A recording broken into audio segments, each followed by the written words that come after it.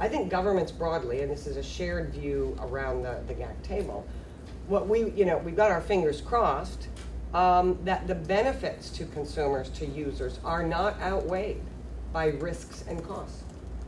That's, you know, so we're looking very, very much forward to the, the review of the new GTLD program so that we can have some data and a stronger sense of, you know, what has happened.